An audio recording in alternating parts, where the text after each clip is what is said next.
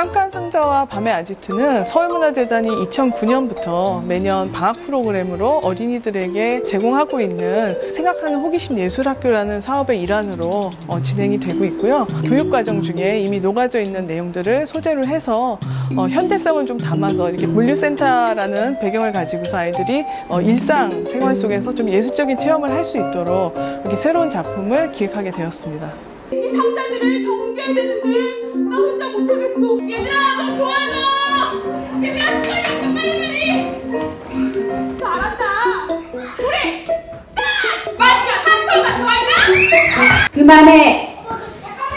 그 밤이라는 애는 진짜 공부도 안 하고 말도 안 듣고 아주 삐뚤어졌다네. 깜깜상자와 밤의 아지트는 호기심 물류센터에 초대된 나지와 아이들이 밤이가 남긴 선물을 찾아 함께 여행하면서 다양한 예술적 경험을 할 수 있는 관객 참여형 공연이라고 할 수 있습니다.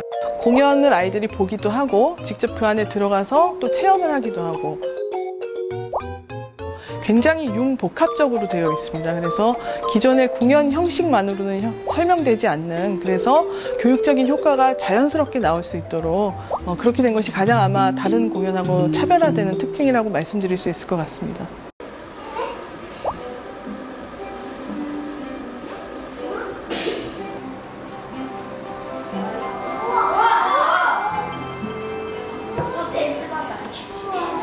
TA라고 하면요, 서울문화재단 소속 예술가 교사를 지칭하는 말입니다. 서울문화재단에서 다양한 예술교육 프로그램을 진행하면서 현장 경험을 쌓았던 TA들이 같이 공동 창작을 하여서 이번 공연을 기획 및 제작하였고요. 직접 배우로서 출연까지 함께 하면서 아이들이 공연 속에서 즐겁게 참여를 할 수 있게 그걸 이끌어가고 있습니다.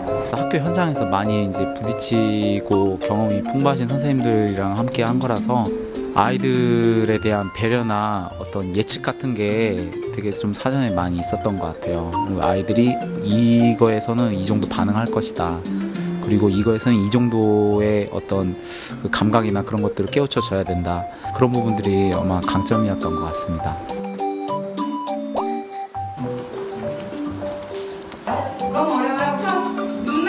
공연이 끝나고 나면 이제 교육과정 워크숍으로 수면 등을 만드는데 이제 저희는 이제 끝나고 헤어지지만 아이들은 그걸 집으로 가지고 가서 그걸 이제 자기 방에 놓고 잘 때마다 그걸 이제 켜보기도 하고 하겠죠. 그래서 아 나 1학년 때 거기 갔었는데 걔랑 재밌게 놀았어. 그리고 이걸 만들었어 하는 네, 그런 기억들을 좀 남으면 좋겠다.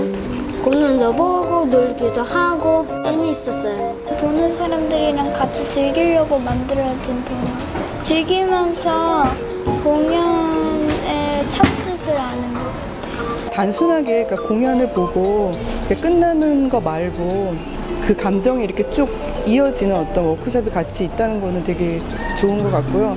그냥 뭐, 아, 뭐 낮이 됐구나, 밤이 됐구나, 그 정도에서 그치지 않고, 그걸 애들이 친구처럼 대할 수 있고, 뭐 상상을 한다거나, 뭐 다른 이야기들을 조금 그러니까 접할 수 있지 않았을까.